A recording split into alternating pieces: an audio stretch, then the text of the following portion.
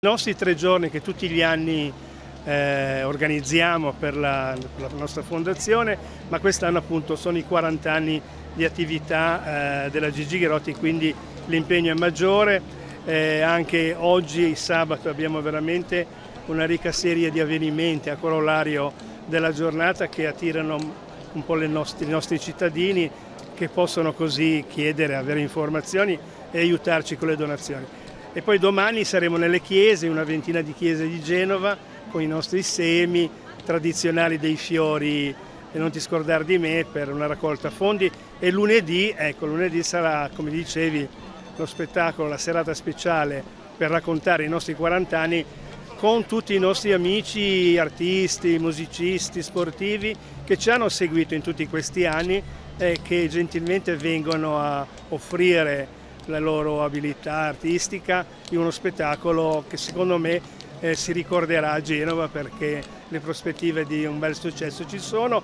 Devo dire che i cittadini hanno risposto eh, molto bene. Ieri eh, mattina eravamo eh, con una disponibilità di poco più di 200 posti, so che stamattina stanno andando avanti le prenotazioni online, eh, non lo possiamo anticipare ma noi speriamo lunedì di fare il sold out. Comunque eh, il teatro è quasi pieno e siamo molto contenti di questo eh, perché avremo modo così di celebrare insieme ai genovesi e di ricordare un po' la nostra storia di questi 40 anni. Noi ci occupiamo di divulgazione della tap dance, un'arte molto antica ma da un sapore assolutamente moderno e abbiamo lezioni e corsi un po' di tutte le discipline legate al mondo della danza, del canto e della recitazione e siamo qui come l'anno scorso, come tante altre volte, per sostenere la Gigi Ghirotti. La magia del tip tap la possiamo chiamare così, perché? Assolutamente sì, perché il tip tap è una danza e un'arte a cui si possono avvicinare tutti, dai più piccoli ai più grandi,